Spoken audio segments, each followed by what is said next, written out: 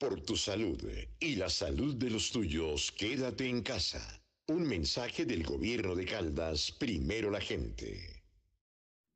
Hola, soy Alejandro Serna, escritor caldense, y en esta ocasión quiero presentarles a ustedes un cuento para que disfruten en familia mientras permanecemos en casa.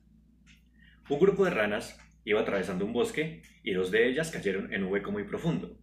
El resto de las ranas se reunieron alrededor cuando vieron que este era muy profundo y les dijeron que se dieran por muertas, que era imposible salir. Las dos ranas ignoraron los comentarios y saltaron con todas sus fuerzas tratando de salir del hoyo, mientras las demás ranas seguían diciendo que se detuvieran, que se dieran por muertas. Finalmente, una de las ranas hizo caso a lo que las otras ranas estaban diciendo y se dio por vencida. Se dejó caer al suelo y murió.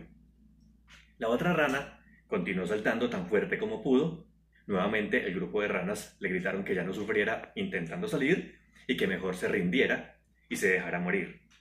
La rana saltaba más y más, fuerte, cada vez más, y finalmente logró salir. Esta rana era sorda y no le era posible escuchar los consejos de las otras ranas. Ella pensó que sus compañeras estaban animándola todo el tiempo. Esta historia nos deja una enseñanza. Debemos fijarnos en todo lo que nos dicen los amigos, la familia los medios de comunicación y tener un filtro para aprender a identificar quiénes nos quieren acabar o quiénes nos alientan a seguir.